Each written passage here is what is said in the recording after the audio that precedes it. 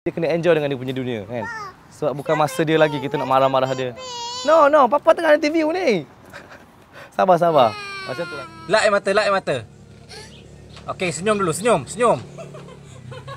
Papa, tosia boleh? Nak sausage.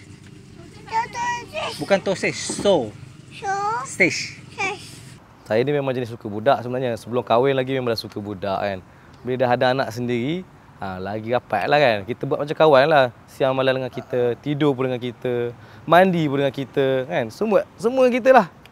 Sebenarnya tak ada, tak ada tujuan nak viral pun. Memang saya buat video ni daripada dulu lagi. Tujuan dia supaya bila saya sakit ke, saya tak saya tak, tak ada ke macam mana kan. Dia boleh tengok kan, macam mana kita jaga dia, macam mana mem- melawat kita berdua kan. Gadget ni tak salah sebenarnya, tak salah. Ada kebaikan dia juga. Tapi kita tak boleh biar dia, dia saja main. Kita kena join sekali dengan dia. Kita kena tanya dia, ah tu tu apa? Tu video apa? Kalau ada video macam video ah macam The Johnny kan. Kita join sekali dengan dia. Johnny Johnny kita main dengan dia. Dia pun dia pun dah dia enjoy dengan lagu tu, dia hafal, dia faham and dia boleh guna dalam kehidupan seharian dia lah. Sebenarnya tu uh, masuk dalam sangka tu benda yang biasa je. Ada lagi bah- lagi bahaya lagi teruk yang dia pernah buat. Kalau korang rasa masuk dalam sangka tu pun dah, nak kecam papa kan. Tak tahulah kalau masuk dalam mesin basuh tu macam mana tak tahulah. Kalau papa tak sempat ambil gambar je. Sebab lain orang lain cara dia. Ada orang anggap saya punya cara ni kasar. Ada orang anggap saya cara ni cara saya ni elok. Tapi terpulang pada masing-masing punya anggapan lah kan. Saya tak boleh nak cakap apa. Masing-masing cara lah kita nak didik anak ni. Kalau korang rasa korang punya cara bagus, go on lah kan. Saya dengan saya punya cara lah. Kalau sebelum ni kan, sebelum viral ni, orang lain pun dah geram dah dengan dia. Siapa-siapa yang jumpa dengan dia pun memang dah excited jumpa dengan dia. Cuma bila dah viral ni, orang luar pun jadi jadi berani nak tegur dia. Sebelum ni orang luar macam, eh budak tu, budak tu. Macam tu je kan. Ha, sekarang ni dah dah berani tegur lah kan. Ha, abang ni Papa Anas ke? Papa Anas tu.